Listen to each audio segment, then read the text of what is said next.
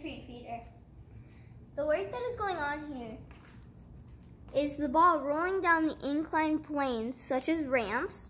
The ramps help guide the ball the entire distance it will travel. The force of the ball hitting the apple causes it to drop, which activates the pulley.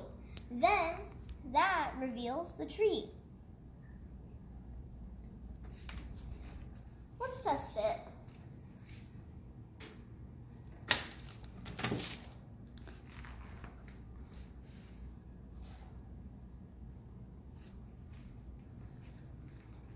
And that is the hamster treat feeder.